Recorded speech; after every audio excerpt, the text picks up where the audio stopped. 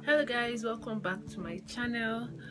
Um for this video i will i'm just on my way to go and get like moisturizing creams. Like you guys have always seen my skin and people are telling me they like how my skin looks. Um so i use a bunch of moisturizing cream. Currently let me show you the moisturizing cream that i use. So um this is the moisturizing cream that i'm currently using. I just tried this cup very very recently. Ah let me know that i didn't really like it. It was nice on my skin. I had to mix carrot oil inside.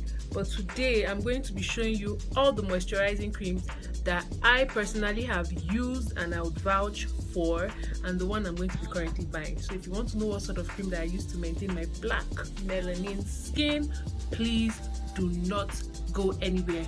We'll be right back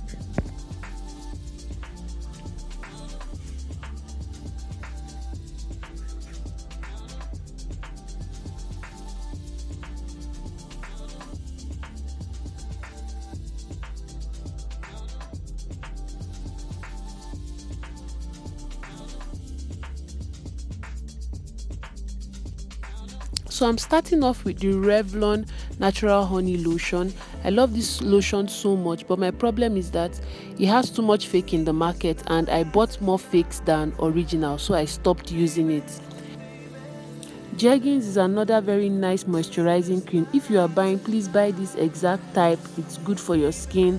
I just got tired and i stopped using it you see this particular dove the one with deep care complex i love it so much. It is so moisturizing.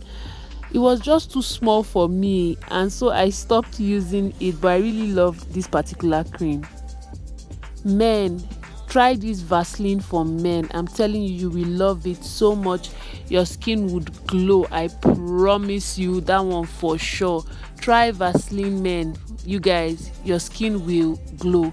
I got tired and i stopped using it. Now what you're seeing is st ives. St ives is the current moisturizing cream that i am using. This particular one is made in Austra australia. I don't buy this one. The one i buy is the one made in new zealand. Um we are going to see the front of that cream soon. I use the one made in new zealand and this is how it looks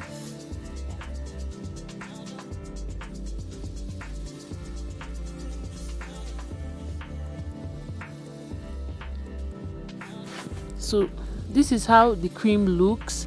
This particular coconut and orchid body lotion this is the one i use currently and i am loving it. So this is the list of all the moisturizing creams that i have used. So if this video was helpful please don't forget to like this video subscribe to my channel and you can also suggest what sort of videos you want to be seeing from me thank you so much for watching and till i see you next time have a lovely lovely day